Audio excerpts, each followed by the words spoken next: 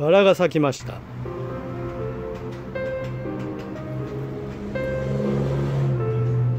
お疲れ様です。横浜流星さんと平野翔さん。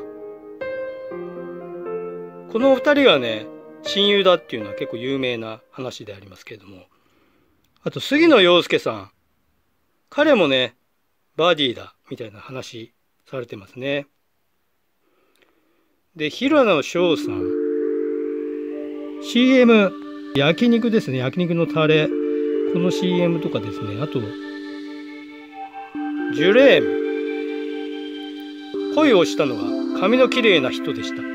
この CM なんかもねとっても良かったですね。きらめきでした。あと冠番組のねキンプリのキンプル。こちらでもね本当にキラキラされておりますけれども。一方で杉野遥亮さん、まあ、今ね最も旬な俳優さんって言ってもいいと思うんですけど。でそんなお二人。彼らと横浜流星さん。親友という間柄。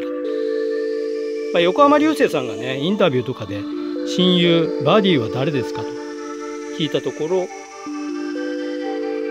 平野翔と杉野遥亮です。というようなことをねお答えになってます。でその理由としてふわふわしているところが好きなんですと。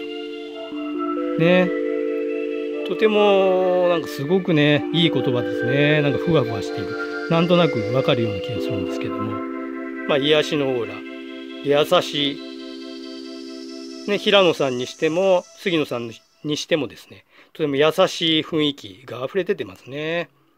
まあ、優しいと言いますとこういったね恋ですでの彼女に対するハグこういったものもね思い出したりするんですけど、まあ、この辺はちょっと関連の記事を見ていただきたいんですけどもその辺のところえ今回サイト記事やらせていただきました。